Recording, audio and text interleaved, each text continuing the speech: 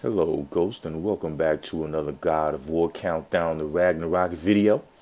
In this video, uh, this new game plus somewhere in the Zeus set, and uh, just realizing how powerful the Zeus set can be. I mean, when you take damage, it does a lot of damage, but when you put dulling out damage, it also dulls out a lot of damage. So, going through the new game plus, you could actually run around bullying a lot of these characters, and in this video, I'm gonna bully a troll. So Sit back and enjoy.